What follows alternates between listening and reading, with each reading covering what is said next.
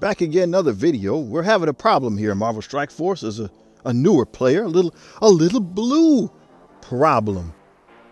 We got a little blue monster that's looming. Here's my Moonstone. I did run into this earlier when I was powering up my little Kree beforehand, and you see in the upper right hand corner, we need that spot. That spot is a blue piece. It's a blue gear piece. Uh, yep, that's him right there. That blue improved isomer. We need those to power our character up to get them to the next level. We have seven nodes. There's seven nodes of this this blue isomer that we can farm. You see in the upper right hand corner, I got 600 energy. So we're gonna farm it. We're gonna farm all that to try to get that one last piece. All right, we went through all of it. We got, look at our energy. We used it all up. What was the result? We made it to gear tier six, about halfway through. So we went from one piece of four up to half a six. I mean, not bad, but there's there's no way I can. I have to wait till tomorrow now. There, this is a bottleneck. This is a bottleneck for me in the early game. If I was to get into, right, if I get this character into purple, I'm pretty sure I can just auto equip up to orange, and we can just auto equip up to 13.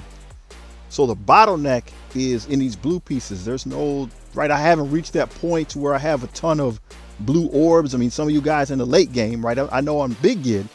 I'm Big Gid in the late game, right? He's got like 20,000 blue orbs, but I'm not there yet. And there's not enough little passageways that I'm seeing to, to grab those gear pieces. That little bit of blue doesn't pop up in the store regularly.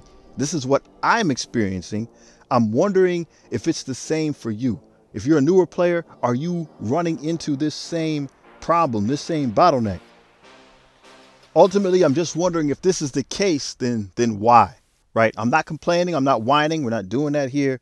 But we're just wondering why. If if from this point forward I can accelerate, right? That's the catch-up mechanic. That's a catch-up mechanic. So if I can if I can get over this hub, I can accelerate, start getting into the orange gear, and then things will slow down as they start touching on the on the teal gear, whatnot, due to my level. My level, my uh, commander level, will dictate how much power I can put into the characters and that itself is a natural bottleneck. But here, again, I'm just wondering as to why. So, Scopely, uh, Savvy, if you're listening, I'm, I'm just asking, right? This is just a couple things that I'm finding out as we go through this journey, right? That's why we're doing it.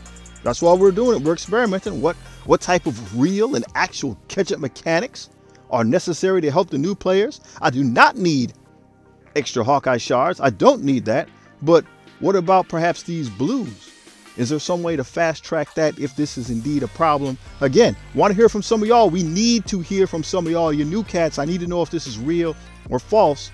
Okay. Also, make sure you check out the MSF player voice. You can get in there and, and state your case, talk a little bit about your experience so we can help tweak the game so that everyone can have their fair shake, everyone can can push and, and, and be rewarded depending on their effort also probably their wallet, but you want it to be fair, right?